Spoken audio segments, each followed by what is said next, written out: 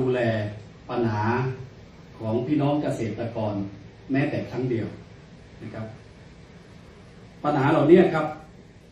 พักก็ได้รับฟังนะครับ ถึงความทุกข์ยากของพี่น้องประชาชนจึงนำมาแปลงเป็นนโยบายนะครับ เพื่อ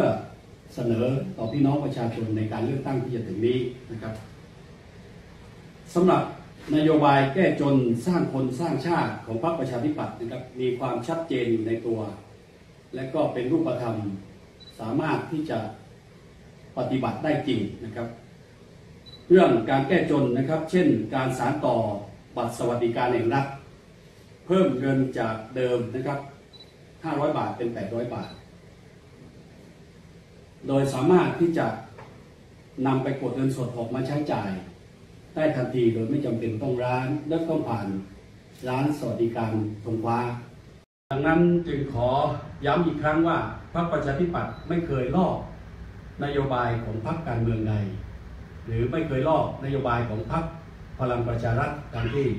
ท่านรัฐมนตรีสุวิทย์ได้กล่าวพาดพิงพรรคมีความพร้อมนะครับด้านนโยบายที่เป็นรูปธรรม และสามารถปฏิบัติได้จริงอย่างชัดเจนนะครับ ทุกนโยบายของพรรคประชาธิปัตย์มีที่มาของแหล่งเงิน และไม่ทำให้บ้านเมือง ล่มสลายหรือล้มละลายนะครับจืนอยู่บนพื้นฐานแห่งความเป็นจริงทุกนโยบายครับ ขอ